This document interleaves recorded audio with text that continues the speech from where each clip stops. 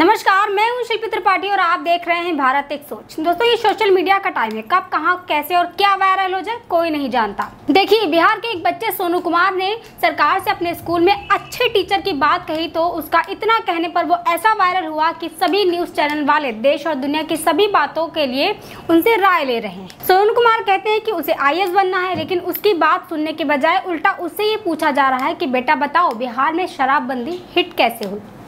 दोस्तों, सोनू कुमार दिखने में भले ही छोटे हों, लेकिन सच में बहुत अच्छा बोलते हैं। उनकी इसी मासूमियत पर सबको प्यार आता है और न्यूज़ चैनल वालों की व्यूवरशिप बढ़ती है। अब छोटे से सोनू कुमार ये बता रहे हैं कि अगर बिहार में शराबबंदी सफल बनानी है तो एक आई के दिमाग से सोचिए।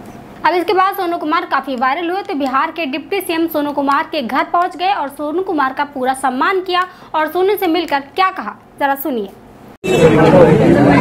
तब उसमें से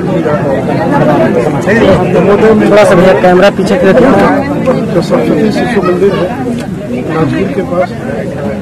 सर तो उसमें तो नवोदय में नवोदय चाहते हो? लेकिन अभी नवोदय का बदलना नहीं। रोज नए नए नवोदय विद्यालय में कपड़ा हम लोग कल बात करेंगे और मेरी डीएम साहब से भी बिहार के सीएम नीतीश कुमार से बधाव शिक्षा पर सवाल करने वाले सोनू ने हाजिर जवाबी से तेज प्रताप को भी लाजवाब कर दिया। तेज प्रताप ने कहा कि तुम बड़े होकर आई बनकर हमारे अंडर काम करना लेकिन सोनू ने तुरंत कह दिया कि हम किसी के अंडर काम नहीं करेंगे। डॉक्टर बनोगे कि इंजीनियर बनोगे? क्या बनना है?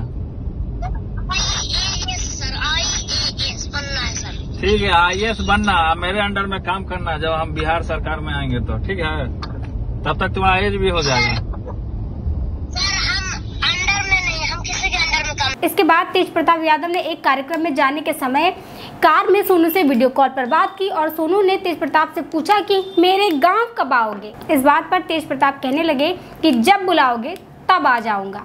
सर आप कब आप कब यहाँ आ रहे सर? हम आएँगे जब तुम बुलाओगे आ जाएँगे।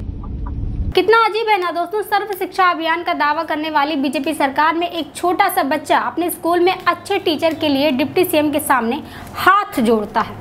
दोस्तों, इस वीडियो के बारे में आपकी जो भी राय हो, हमें कमेंट बॉक्स में ज़रूर बताएँ।